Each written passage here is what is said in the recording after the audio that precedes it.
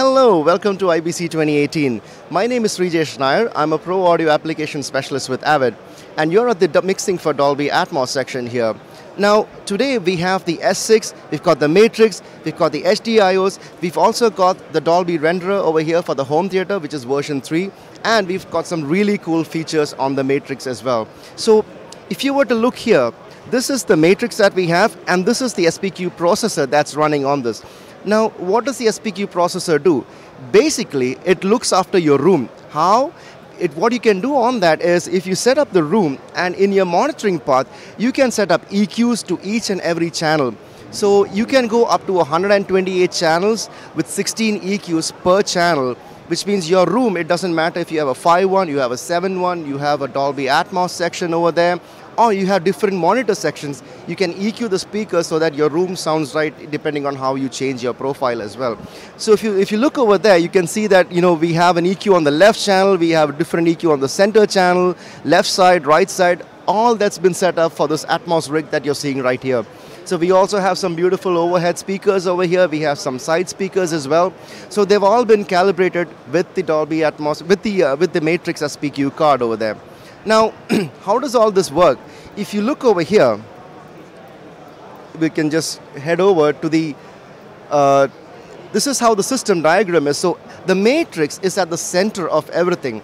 It is our I.O., it is our monitoring box, and it is also our routing matrix. So what this does is we've got two Pro Tools systems that is running over here. We have one, which you can see there, that's the player. And you can also, from the S6, tap to the second one that you can see is the recorder.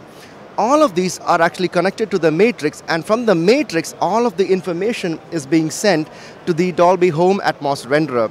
Now this is a new version of the home theater renderer that we are showing. It is slightly different from the cinema version because in the cinema version you can go up to 64 speakers and this one it's only up to 22 but it's also pretty useful when you're delivering stuff on, for Netflix or for home broadcast or for the Blu-ray as well. Now, on the S6, we have some really, really interesting stuff as well. For example, one of the things that you know we had a lot of talk about is what happens is when you when you have an EQ and you want to push it over to your fader.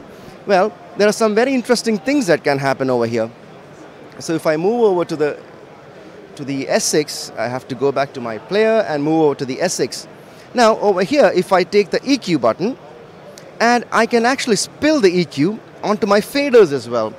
What happens here is when you do an EQ, let's say you have the low gain, the low frequency, the low Q, you have a Q factor for everything that's there. You have the frequencies, um, the position of the zero that is there. So when you increase it for the Q, for example, let's just put a Q over there. So let's just clear this out for now. And let's take an EQ and put a Q factor over here. That would be easier to show. So if I put a Q factor over here, you can see it's pretty wide, but then when I narrow it down,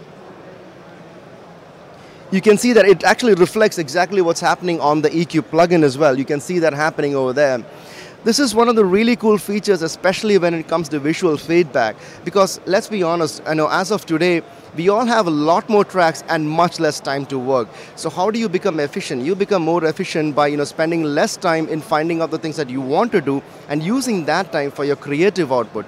So all of these features that you see on the S6, whether it's the EQ, whether it's a spill on that, whether it's sending a soft key across multiple systems. So let's say if you want to do a preview across all of your five systems that is connected to the S6, you can do it in one go. You don't have to do it individually. If you want to save, for example, on all of your five systems by hitting one button, all of those things actually save a lot of time as well.